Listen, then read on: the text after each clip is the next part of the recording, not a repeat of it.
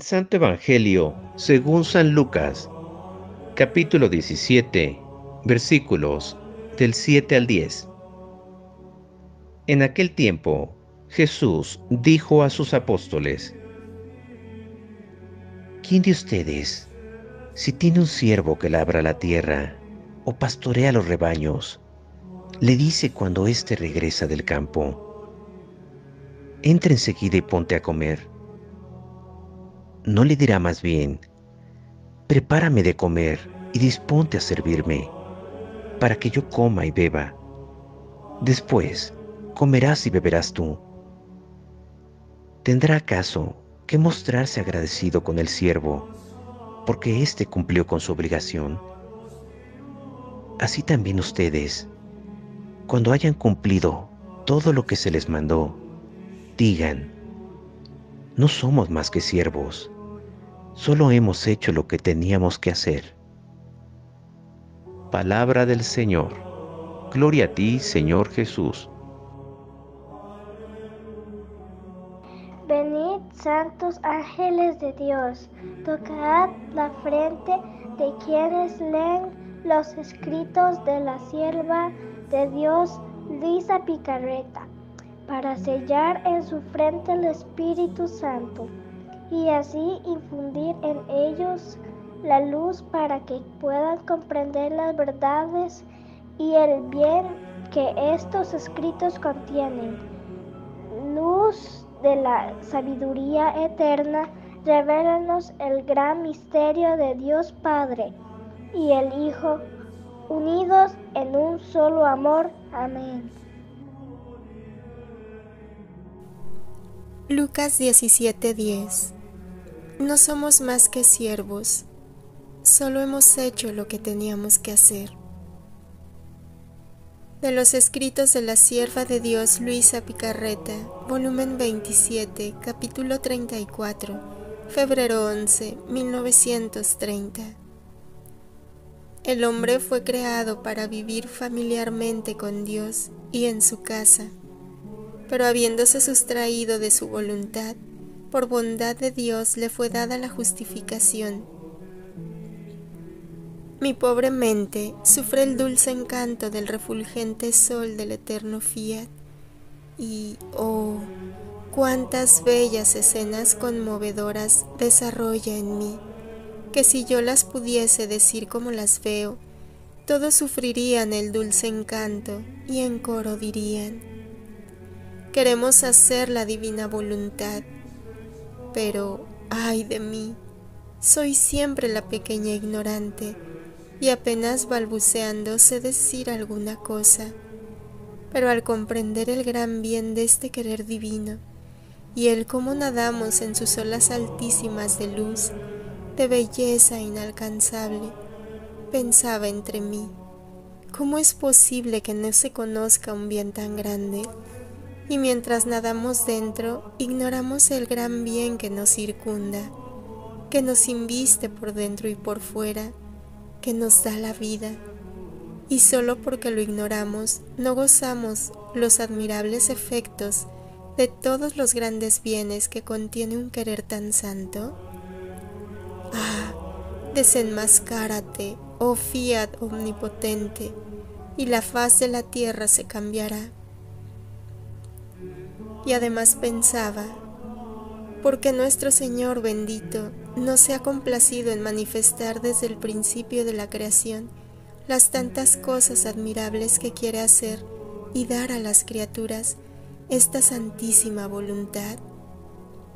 Y mientras mi mente se perdía como raptada en el dulce encanto del querer divino, mi amor, mi vida Jesús, el celestial Maestro que cautiva con su bello hablar sobre su mismo querer, haciéndose ver me ha dicho,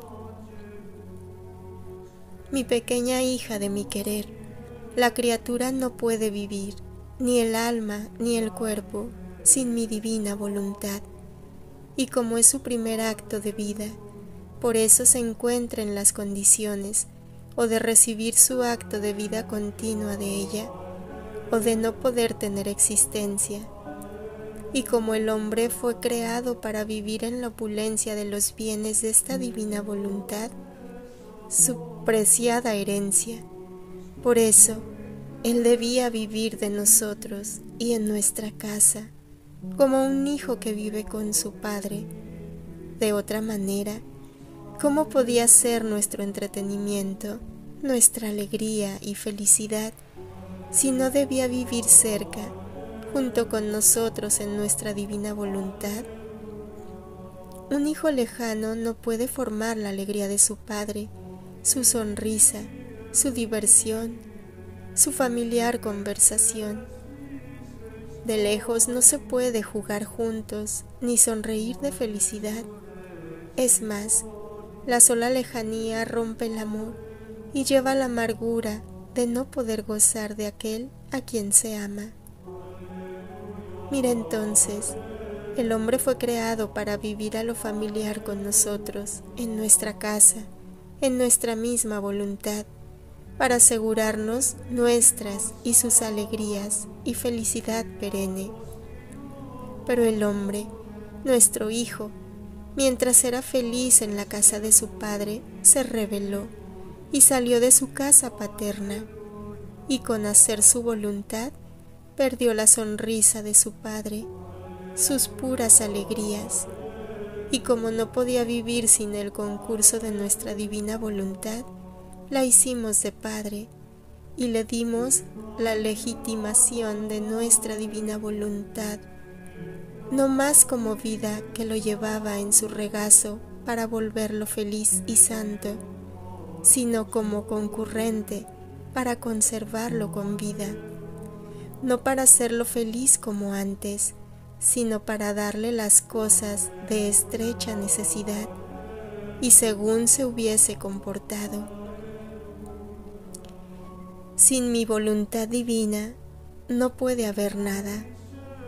He aquí el por qué mi fiat divino se conoce tan poco, porque las criaturas solo conocen de ella su legitimación y muchas veces esta legitimación ni siquiera es del todo reconocida, porque quien vive de legitimación no vive en la casa de su padre, está lejano de él y muchas veces se encuentra en las condiciones de estropear con actos indignos la misma legitimación recibida.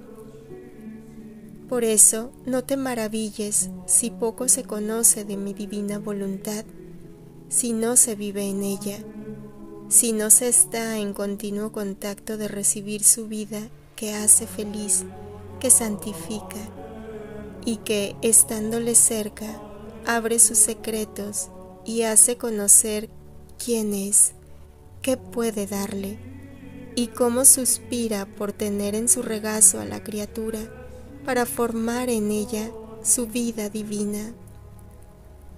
Mucho más que el hombre, con hacer su voluntad, se puso en condición de siervo, no de heredero, y el siervo no tiene derecho a la herencia de su amo, sino a la mísera paga para vivir con penurias la vida. Por eso, hija mía, se puede decir que contigo he abierto las puertas para hacerte entrar a vivir en nuestra casa, en nuestra divina voluntad. Y teniéndote con nosotros te hemos manifestado tanto de nuestro querer divino, no como legitimada, sino como nuestra afortunada heredera. Después de esto ha agregado, Hija mía, mucho más que aquel poco que se ha escrito en toda la historia del mundo acerca de mi divina voluntad, habiendo conocido de ella solo la legitimación, han escrito de ella lo que han conocido de mi fiat después de la culpa, en qué relaciones está con las criaturas a pesar de que la ofenden y no viven en nuestra casa.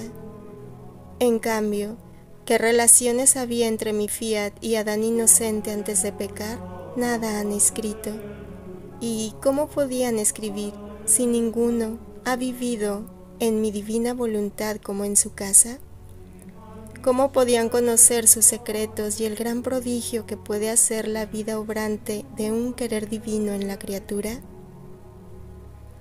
Por eso podían y pueden decir de mi fiat divino, que dispone todo, que ordena, que concurre, pero decir de mi querer divino, cómo obra en sí mismo, en su casa, la potencia de su inmensidad que en un instante hace todo, envuelve todo, como en sí mismo, así en la criatura?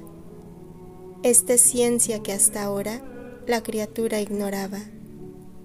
No podía ser escrita sino después de las manifestaciones de mi fiat divino, y a quien llamaba vivir en nuestra casa como hija nuestra, cercana dentro de mi querer, no lejana, que pudiéndonos entender con ella, la poníamos al tanto de nuestros secretos más íntimos. Y si hubiéramos querido manifestar lo que respecta a nuestra voluntad en relación a la criatura y no viviese en ella, no nos habría entendido. Habría sido para ella como un dialecto extraño e ininteligible